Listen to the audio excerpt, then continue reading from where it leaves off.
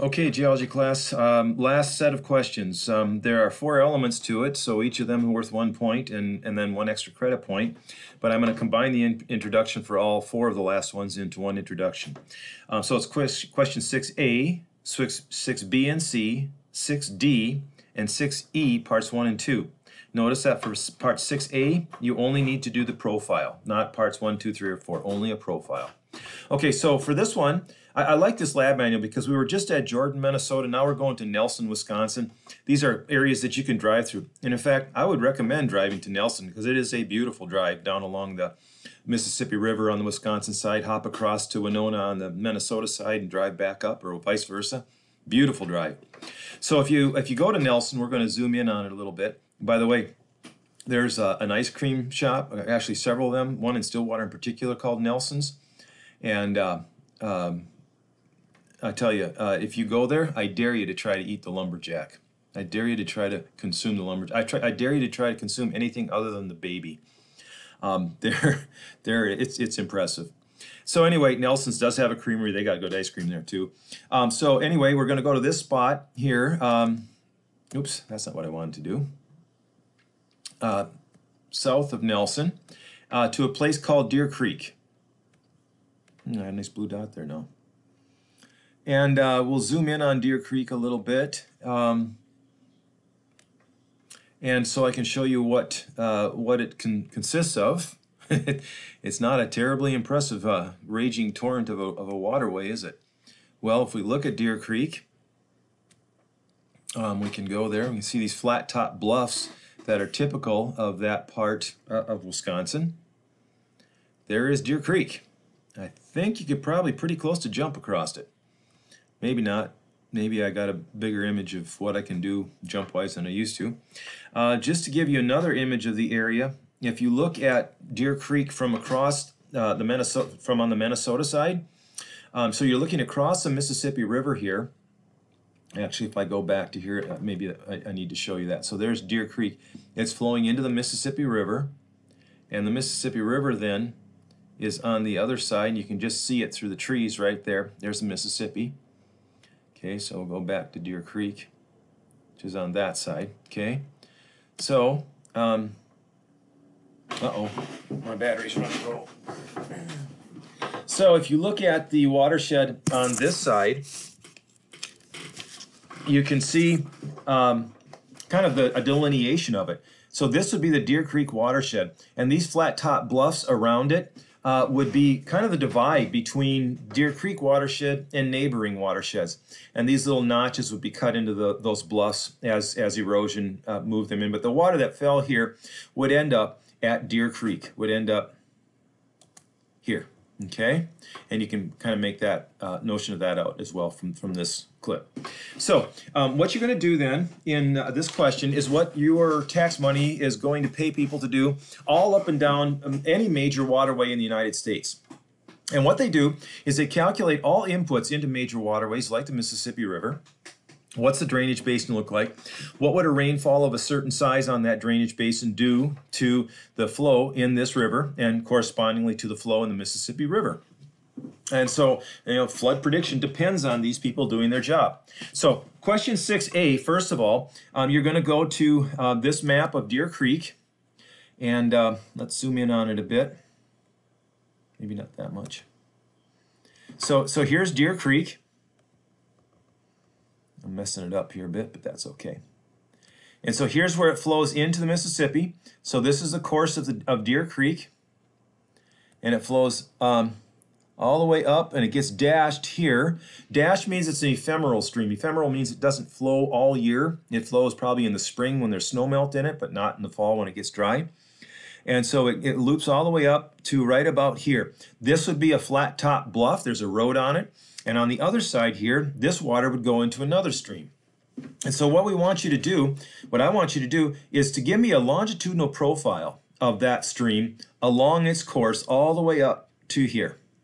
And there's a good explanation of how to do that on page 148, kind of a Cliff Notes version of that. If you take a long piece of paper, you'll need all 11 inches of it. Put the corner here, that's your starting point. And, uh, and everywhere a contour line crosses that paper, down here you could probably use index contours, just the dark ones. everywhere an index, so you, so you want to record the elevation at the start, which, what is that, 470, 670 feet? I can't make it out right here. Um, start, start of the creek where it flows into the Mississippi. Um, then you, you, you, everywhere it makes a corner, you hold down on the paper at that point and, uh, and turn the paper so that the edge of the paper follows the, the course.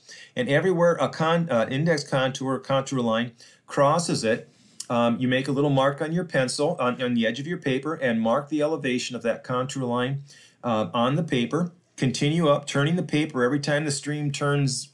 You don't have to catch every little corner, but the main corners. Um, all the way up to the top. When it gets steeper here, you'll probably definitely want to use um, all the contour lines. Um, but anyway, you'll end up with a sheet of paper. Uh, uh, along the edges of it are marks uh, that are uh, at certain elevations. You'll take that piece of paper to another piece of paper of the same length and draw a longitudinal profile like it shows you how to do on page 148.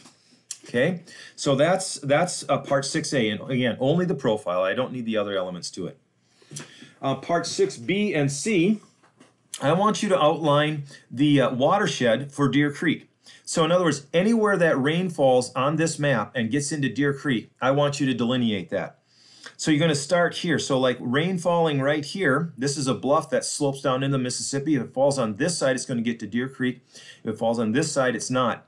And so you're, you're going to, you know, draw a line like so all the way around here because this is a flat top here. You can read the elevation numbers to, to see that, okay? And if you go back to um, this image right here, you can see those flat tops, okay? And so you're going to delineate where water falling on this drainage basin would get to Deer Creek. Now here is going to be a little tricky because there's all these deep valleys, these draws that are cut back in, but still water falling here, it's going to flow downhill into Deer Creek. Water falling on this side, that's going to flow down here and not into Deer Creek.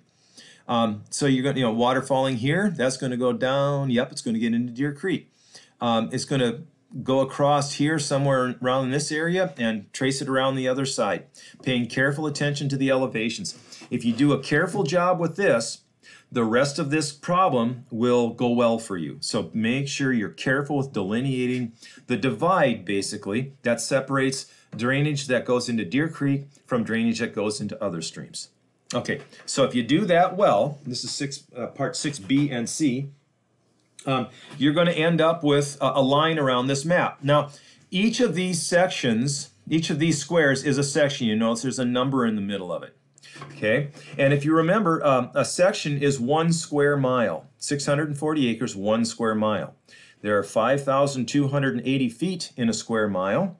And, and so using that information, you can estimate the number of square miles that are in the Deer Creek Drainage Basin. Now, yes, certainly you're going to have parts of sections, like you might have, um, um, what, what would be a good example here? So like here's the top of the divide. So, so maybe your divide would go right along this road here. And so this part of section three would be in the Deer Creek Drainage Basin, this part would not. I don't know, I would call that more than more than 50%, maybe 60, 60 65% so um, uh, of, of a section would be uh, there, so 0.65. This whole one would be in. This, uh, probably most of that section would be in, uh, but only a small portion of this section would be in, maybe uh, 0.3, I'm just guessing. And, and, so using that kind of a system, uh, I want you to end up with an estimation of how many uh, square miles are in the Deer Creek drainage basin. Square miles. This is one square mile. One of these sections is one square mile. And then the, the last part is going to ask you to convert that to square feet. Okay. Now you can't, now you know there's 5,280 feet in a mile. Okay, and you will calculate, let's just say for kicks and grins, you got seven square miles. That's wrong, by the way. If you got seven square miles, you can't just multiply that by 5,280. Um, that won't work. We want square miles. So 5,280 times 5,280 times 7 would give you the square feet if the Deer Creek Drainage Basin comprised 7 square miles. Okay, so that's part B and C. Okay, now here's the payoff. Part, um, part D um, gives you a scenario where um, it, it talks about the precipitation that normally falls on that Deer Creek area. And um, it asks you to calculate the, the volume of water, gi- given, given the amount of water that falls on this drainage basin, how much does, uh, ends up down here at the mouth of Deer Creek as it goes into um, the Mississippi River? What is the contribution of Deer Creek to the Mississippi River? I know it seems small. You got that little bitty creek flowing into that great big river. But people are paid to make to do this work for all streams that contribute water to the Mississippi. The more of the picky little streams that flows into it, the better their prediction for um, what flooding might, might occur on the Mississippi River. Um, now, of course, not every rainfall uh, falls on all of the Mississippi River drainage basin. So that also is taken into account when they're doing these flood calculations. But um, that's what I want you to do. So you're given a very real life situation here about the amount of inches of precipitation falls, 29.1. That's about average for around here. And, and determine how much water goes out Deer Creek into Mississippi. Then the last part, part E, there are two parts to it, two scenarios. In the first scenario, it basically says all the water that falls on Deer Creek Drainage Basin gets into the Mississippi. Okay, duh. Well, that doesn't happen, of course. So it is the second scenario that's a little more real, that's distinctly more realistic. And there they talk about losses to infiltration, transpiration, groundwater, things of that sort. And uh, and and so this is a much more realistic uh, um, um, question, dealing with what people deal with all the time. Given a rainfall of a certain event, or in this case, given the annual rainfall that typically falls on Deer Creek, how much water does it contribute to the Mississippi River? That's it, folks. I hope I haven't been too long-winded with this and give it a go. Remember, double points. Um, do a good job. I'll expect um, uh, good quality if I'm giving you that much extra credit, but you can do it. Okay, thank you. Have a good day.